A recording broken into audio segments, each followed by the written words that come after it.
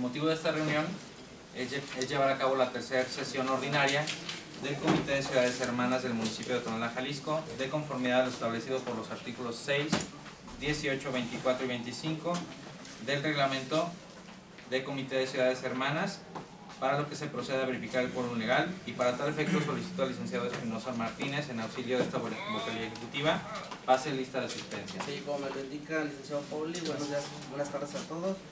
Regidora Marta Esteli Arismendi Fombona, Presente. Araceli Saraí Orozco Aranda, en representación de la regidora Celia Guadalupe Serrano, Juan Pablo Brasiliano Dueñas, en representación del regidor Alejandro Buenrostro Hernández, Presente. síndico municipal Nicolás Maestro Landeros, Presente. maestro Alfonso Olvera Huerta, Presente. Juan Carlos Nuño Gómez, en representación del tesorero municipal Noemí Adriana Barajas Velasco, Presentes. José Pajarito Fajardo, Presente.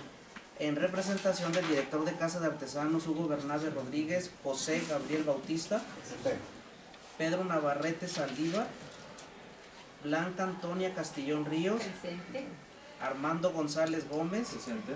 Leslie Alejandra Juárez Leos. Presente. Es cuanto. Les informo que nos encontramos la mayoría de los integrantes del Comité de Ciudades Hermanas, por lo que, siendo las 12 horas con 17 minutos del día 12 de diciembre del 2022, se declara quórum legal para sesionar y válidos los acuerdos que en esta reunión de trabajo se realicen.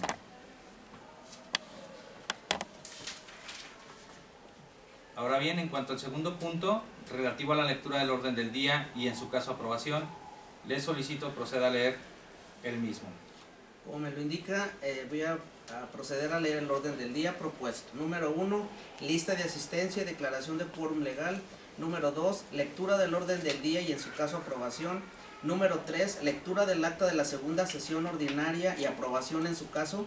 Número cuatro, aprobación de suscripción de hermanamientos con los municipios de Guadalajara, Jalisco, Ixtlahuacán del Río Jalisco y Nochistlán, Zacatecas. 5. Comunicaciones recibidas. 6. Asuntos varios. 7. Señalamiento del día y hora de la próxima sesión. 8. Clausura de la sesión. ¿Es cuánto? Someto a la consideración de los presentes el orden del día propuesto. Los que estén por la afirmativa, por de manifestarlo levantando su mano. Aprobado. En cuanto al tercer punto del orden del día, relativo a la lectura del acta de la segunda sesión ordinaria y en su caso aprobación, la misma les puede remitir a vía correo electrónico, por lo que someto a la consideración omitir su lectura y aprobar el contenido de la misma. Quien esté por la afirmativa, a favor de manifestarlo levantando su mano. Aprobado. En cuanto al cuarto punto del orden del día, relativo a la suscripción de hermanamientos con los municipios de Guadalajara, Jalisco, Ixtlahuacán del Río y Nochistlán, Zacatecas, les comparto que se giró el oficio CCH RPMCH 015 diagonal 2022 a la delega- delegación de la Secretaría de Relaciones Exteriores para hacerles del conocimiento oficial de la intención de hermanamientos con los municipios mencionados. En consecuencia, someto a la consideración de los presentes autorizar la formalización de suscripción del convenio interinstitucional de hermanamen- hermanamiento entre el municipio de Tonalá, Jalisco y el municipio de Guadalajara, Jalisco con Ixtlahuacán del Río y con Nochistlán, Zacatecas. Eh, le pediría a mi compañero César que proyecte las generalidades de estos municipios para tener un poco de información de los mismos. Como me lo indica el eh, de los tres municipios obtuvimos la información de sus páginas oficiales, tanto de Islahuacán como de, Guadalajara, del, propio del portal del gobierno del estado. Y con respecto a Nochistlán, Zacatecas, el, propio municipio tiene su propio también portal. Eh, como en la sesión pasada hicimos una, pre- una pequeña generalidades o características de los municipios, por ejemplo, Islahuacán del Río es un municipio de la región centro del estado de Jalisco. Islahuacán proviene del origen náhuatl, que significa Islahuac, llanuras, can, lugar de llanuras. Se ha interpretado como lugar de los dueños del llano o en la llanura. Algo que es importante, estos tres municipios tienen trascendencia histórica porque tiene que ver con la conmemoración del 490 aniversario de la villa de Guadalajara. Son en tres lugares donde a- del- de, la estancia de lo que estamos el día de hoy, que es el Valle de Temacac, estos tres municipios, ahí estuvo Guadalajara en, en aquellos tiempos. Por eso es la, la importancia y la trascendencia histórica de este hermanamiento. Y más adelante van a ver una imagen de Nochistlán, Zacatecas, que creo que nos va, nos va a agradar a todos. Lo, Islahuacán del Río lo fundaron toltecas en su peregrinación que era de norte a sur en el 618 después de Cristo cuando pasaron por la región. Posiblemente estuvo primero en Tlacotán. Tlacotán tiene, tiene que ver con Ixtlahuacán del río Jalisco donde se establecieron las tribus tucuexes, tupehuanes, coahuanes, cascanoes y zacatecos fueron los tecuexelos que, que poblaron toda la porción donde es este municipio. Los peninsulares que se avecindaron en Tlacotán fueron continuamente utilizados por los aborígenes de Tlahuacán. La conquista fue realizada por Nuño de Guzmán, que arribó a estas tierras en marzo de 1530. Le pareció un lugar estratégico para defenderse, ya que dominaba todo el valle de Atemajac. Al llegar los españoles, los indígenas tuscueces poblaban Tlacotán, Islahuacán, Tepac, Teponaguasco, Uquío. Eran tribus sedentarias que tenían una organización y política importante, como lo demuestra el hecho de Tlacotán. Era uno de los tlatonazgos pertenecientes al Huaytlano. Ajá, de Era cacicazgo perteneciente al señor de Tlacotán. Si se fijan, se menciona mucho este municipio. Este es una, un, espacio del municipio de Tlahuacán del Río. Entonces, más adelante vamos a ver también. La cercanía de la región Cascana estaba dentro de la América marginal, zona de transición cultural entre Aridoamérica y Mesoamérica. Influyó de manera especial, pues permitió que nuestros primitivos pobladores estuvieran en contacto permanente con los elementos culturales que fluían en Mesoamérica hacia Aridoamérica. En fin, estas son pues cuestiones históricas. En mayo de 1533, Nuño de Guzmán ordenó el traslado de Guadalajara, fundada en Nochistlán, a Tlacotán, siendo asiento de Guadalajara, en 1535 a 1540.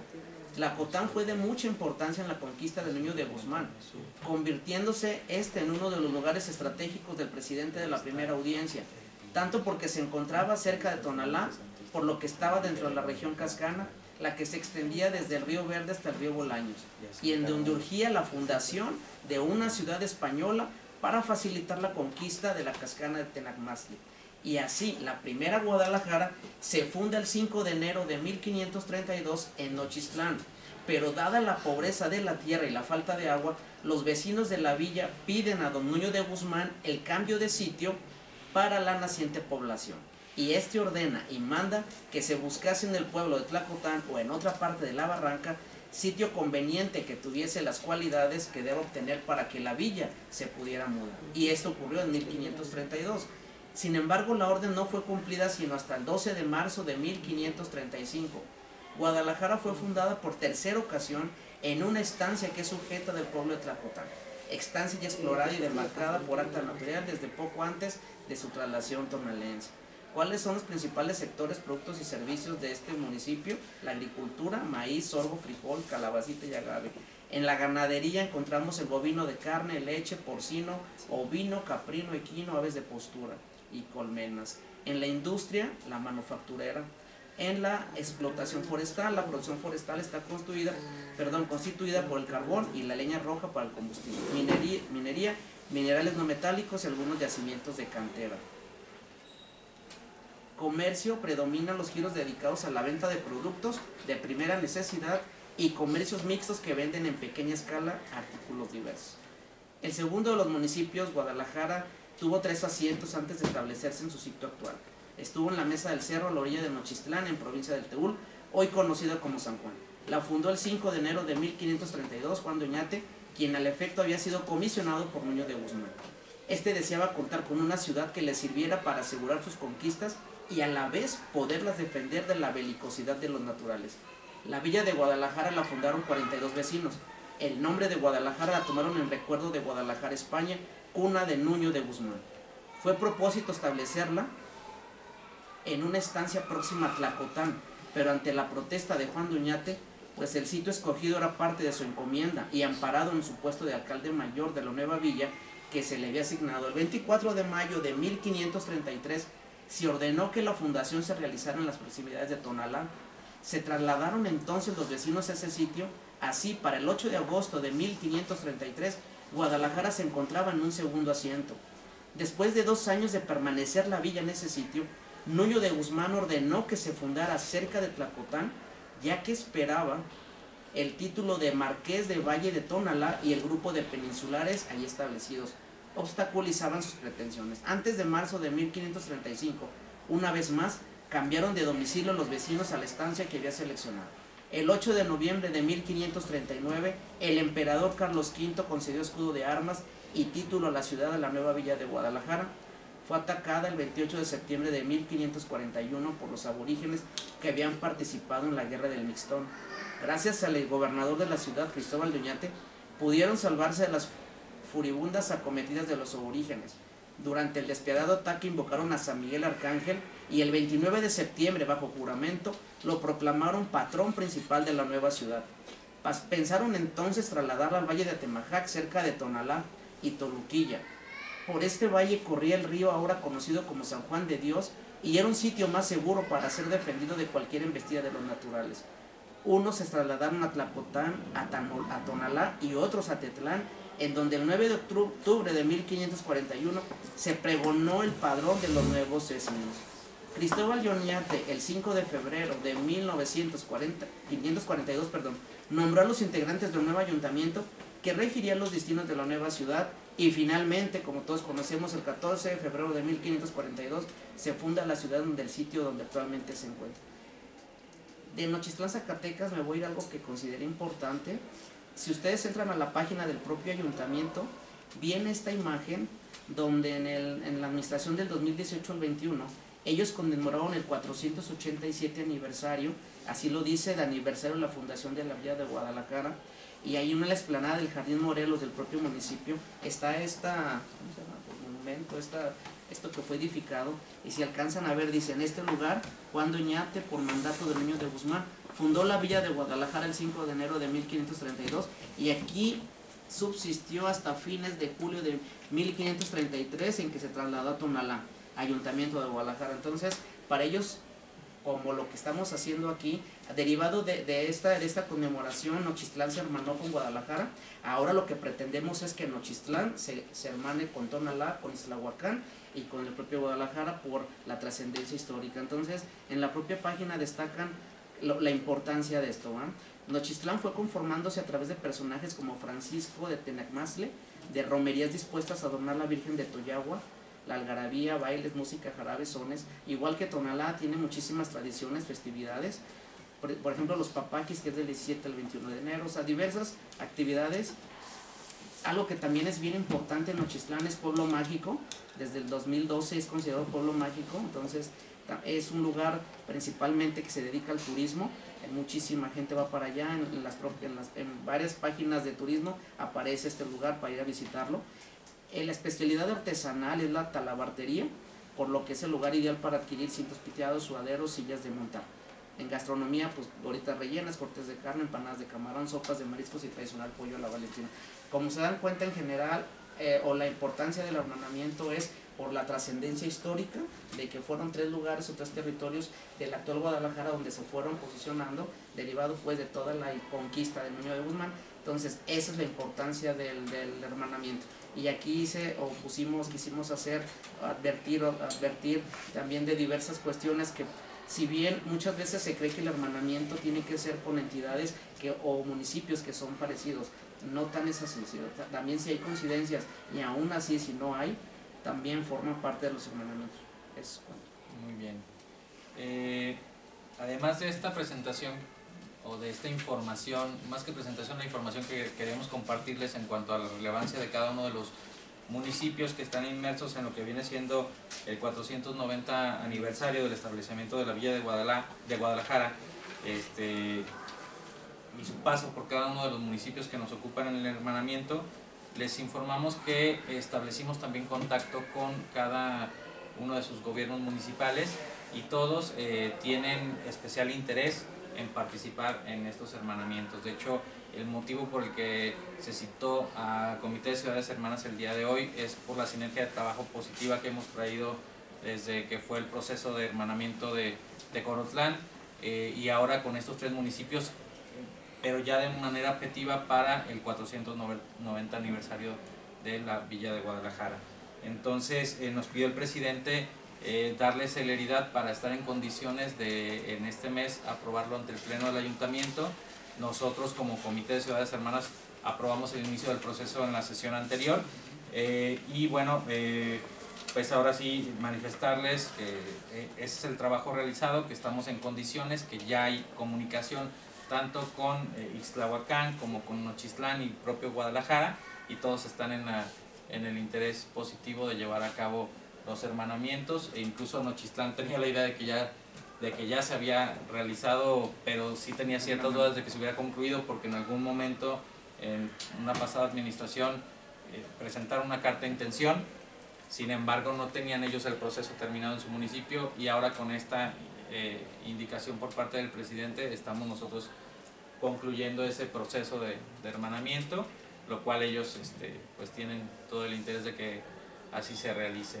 Eh, manifestarles también, hace un momento me comentaba el síndico por temas de reglamentación, en el caso de su servidor y todo el equipo de trabajo tenemos la representación directa del presidente por parte del Comité de Ciudades Hermanas, pero cada uno de ustedes tiene una representación específica con base al reglamento, entonces platicando ahorita con el síndico, en toda la do- documentación que se realiza, en los convenios, en todo lo que nosotros tengamos por parte del Comité de Ciudades Hermanas, vamos a cuidar esas representaciones para que tenga un aspecto de validez, nada más que por, por, por aspecto práctico luego nos toca a nosotros hacer el trabajo este, técnico y operativo, pero ya a la hora de la suscripción, este, ustedes van a observar ahí su, su participación de manera correcta. E incluso los convenios que nosotros eh, hagamos parte de la próxima sesión de ayuntamiento van a ir ya con la representación correcta de cada uno de los integrantes de este comité de ciudades hermanas para que vayamos cuidando la forma jurídica de origen y hasta la suscripción de los de los convenios entonces cuidar esos aspectos. No sé si alguien quiere hacer el uso de la voz previo a aprobar estos hermanamientos este, comentar que eh, por un tema histórico, eh, cultural eh, y, por temas que podemos también acrecentar económico, de intercambio de artesanías, pues, sobre todo por un tema histórico es, es el, tema que, nos une el día de hoy y por supuesto que mi total y absoluto apoyo para que se lleve a cabo este estos hermanamientos. Muchas gracias. Y sobre todo establecer y fortalecer los lazos de amistad regionalmente en virtud de que estamos hablando y que históricamente bueno nos une eh, parte de nuestra historia y nuestra esencia eh, como municipio como entidad y sobre todo en el tema regional.